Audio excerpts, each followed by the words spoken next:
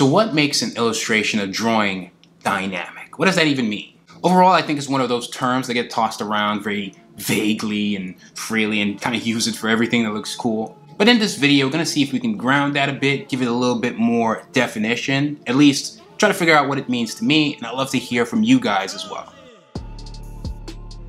If you guys consume most kinds of media, whether it be film, animation, you know, Western or the Eastern stuff, anime and all that, comics, there's always that frame, whether it be a frame of animation or a frame in a panel, comic books, the list goes on, where there is this dynamic shot. The choice of the camera angle, the pose of the character, how it's colored, how it's just delivered to the audience overall. There's something about it that just makes people conjure up the word dynamic. And I think if you are a creator yourself, you should know when to not necessarily overdo it, but when to apply it best within your works, whether it be for a frame, within an animation, or a comic book, webtoon, whatever you're doing. As with everything, there's a fine line, so you don't want to overdo it, but there are places where it's definitely needed. You don't want a comic where everything just feels very straightforward and normal and not dynamic at all. You know, sometimes having a dynamic frame helps engulf your reader into your work especially when you're a new creator just starting out, knowing the dynamic stuff is difficult to do. And sometimes you might not even have the mindset to even think of those things at first. So you, you should get better with time. But I see a lot with most creators, especially when you're making comics, everything is just a headshot, headshot, headshot. So it's not just dynamic in the sense of one frame, but also dynamic in the sense of how you lay out your panels, how you take the reader through this story. Your story might be good, but if your art's not good, then you know it's going to be hard to get into sometimes you can overcome that if the story is really, really, really, really good or really something. Same way if the art was great and you brought people to the table, if the story is not that great, you're not going to keep them at the table. Being able to come up with dynamic illustrations in general is always a strong asset to have.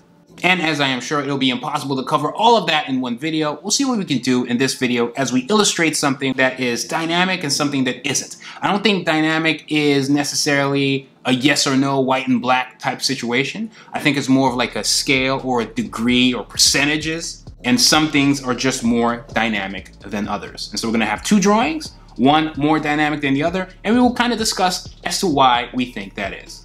But first, I've partnered up with Skillshare to bring this video to you, trying to make 2021 a big year where you explore and deepen your already existing passions. Like art, animation, sequential art, and all that kind of stuff. You can get lost in that creativity with Skillshare's online classes. Good chance that what you find on there would inspire you or surprise you, or both. Skillshare's online community offers a lot of meaning to your membership. With so much to explore, projects to create, support you can get and give back from other creatives as you both learn, Skillshare offers real growth, offering classes for real life and furthering your creative journey without putting your life on hold. Short classes to fit your busy schedule ranging from animation to art to comics to cooking to you name it. Not just saying that for the vid, there's classes I've taken in the past that I learned from and classes that I find interesting even now, like this character illustration drawing faces, figures, and clothing by Gabriel Picolo. It's a comic artist, illustrator, and he shares his tips on how to improve your drawings, your figure drawings, clothing drawings, and all that good stuff. And the Warrior Guys, compared to in-person classes and workshops, Skillshare is very affordable. And the first 1,000 people use my link in the description get a free trial of Skillshare Premium. You're welcome. So let's say we had a character coming from the heavens, crashing through the window, whatever, the ceiling, and coming down, all guns blazing. Depending on the depending on the camera angle you choose to depict that from, you could have something that's plain and normal and basic. You don't want to be basic, do you? You don't want to be basic. But if we pick the camera angle like so, Say it's coming down. Guns blazing. Or whatever she's holding, some kind of weapon. You can still have like a dynamic pose even though the camera angle is not as dynamic. So there are lots of things we're thinking about. Keep in mind, we're, we're, we're keep in mind we're thinking of a lot of things, right? And we're trying to add the, put this all together, and that's kind of what makes it dynamic. And so it's the pose of the character that we're taking into consideration, the camera angle where we're showing it from, all the things that are happening simultaneously. So obviously, it would be nice to have a decent understanding of, say, anatomy to have like a dynamic pose for the character. And so maybe we had, rather than having both legs just coming down normally, maybe it's kind of bent a little bit, somewhat.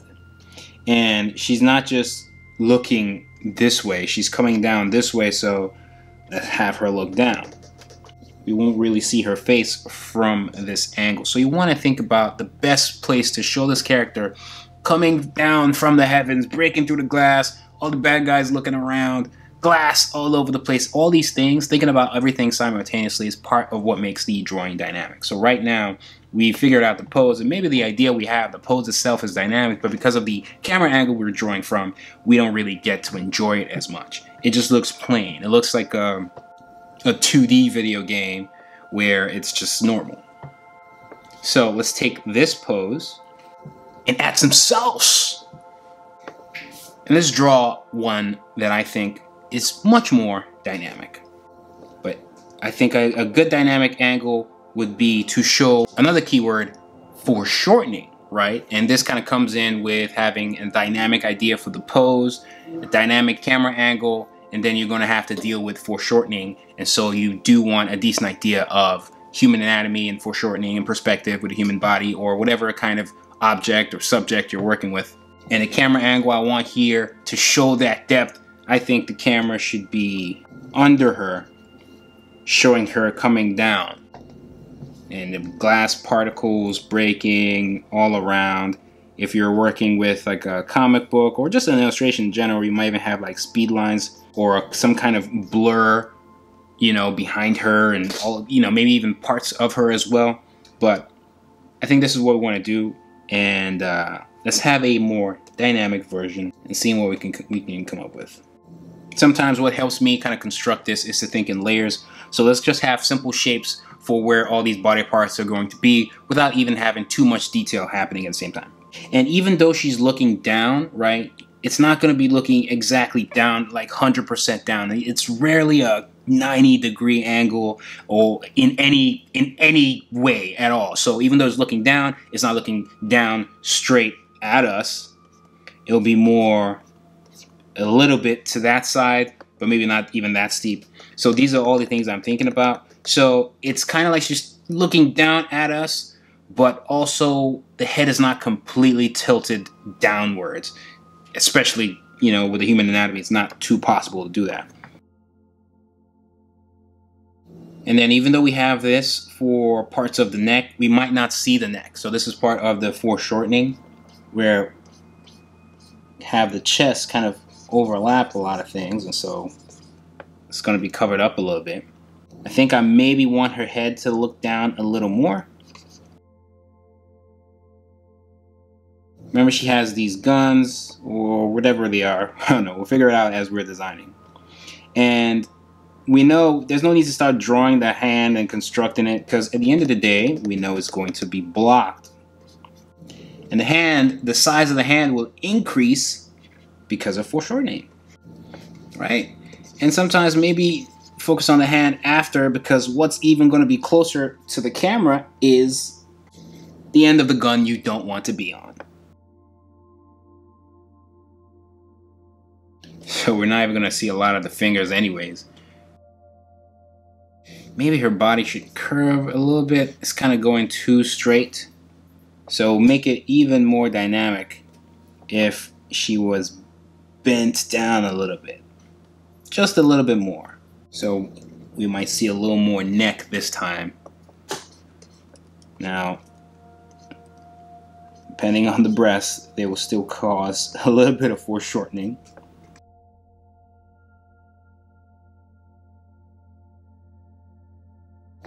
Now the distance between both guns should be about the same. So this one being this big, you know, makes no sense unless this one's kind of just as big.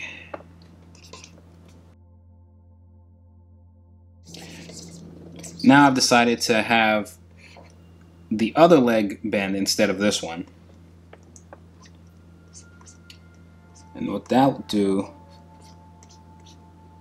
is, and again, as I'm drawing downwards, I know that the drawing is supposed to be getting bigger and bigger and bigger because of perspective and foreshortening. Again, keywords there. Because this leg is going up, it's actually going to block a lot of all this stuff that we've drawn. And that's why we do this during the sketch, This way, you know, we won't feel bad when we where we're when we're erasing parts of the drawing that maybe we like.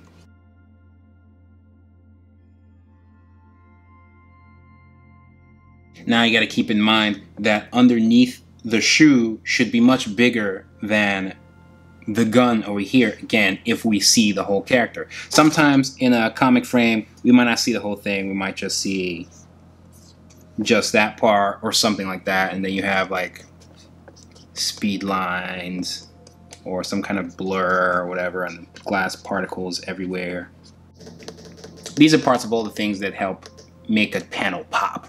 Now this gun here is bothering me a little bit and just maybe more pointed towards the camera, I think. Have it go kind of similar heights to that one. That way we still get to see some some of the fingers and stuff like that.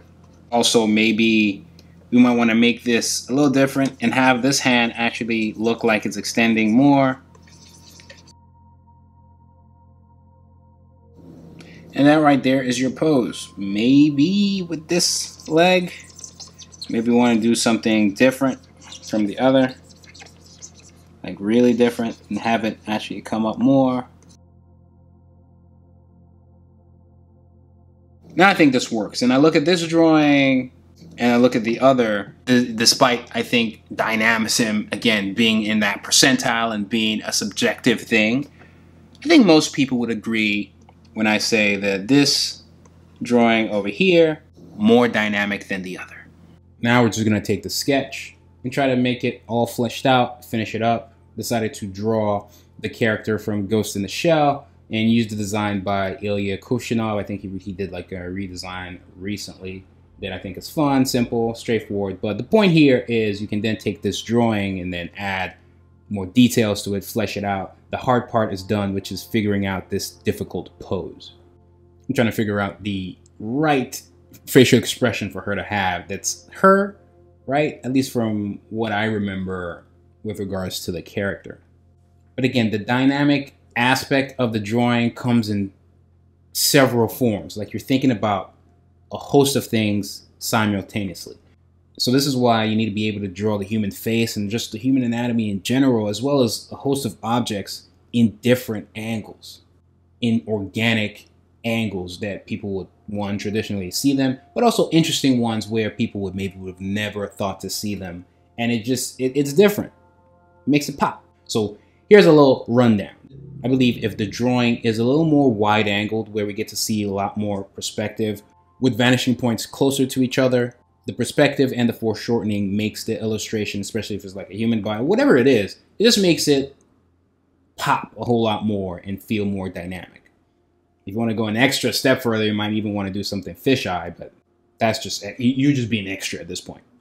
But again, even with the pose itself, that's another aspect that can be dynamic. You can see several parts of her body doing different things. Everything isn't rigid, it's free, it's loose. The clothes, hanging in the air. Nice design overall.